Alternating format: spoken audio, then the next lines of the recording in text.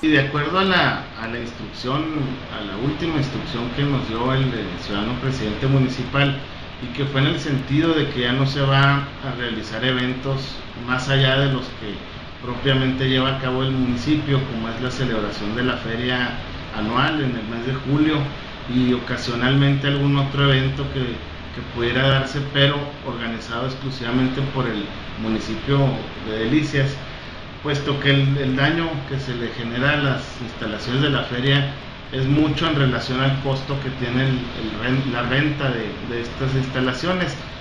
En otras palabras, no es eh, costeable para el municipio el hecho de rentar la instalación por el daño que se le causa a la misma y que bueno, sin contar con esto último, ¿no? De la molestia a los vecinos.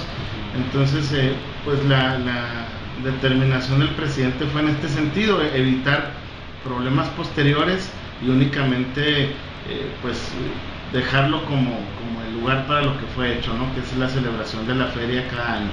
Los particulares ya no van a tener cabida para hacer eventos en ese lugar. Así es, eh, esta es una de las, de las últimas instrucciones que nos giró el ciudadano presidente en el sentido de no autorizar la realización de eventos en este tipo de instalaciones, sino únicamente las que sean eh, por cuenta del municipio y para beneficio de los mismos Bueno, señor, muchas gracias. para servir.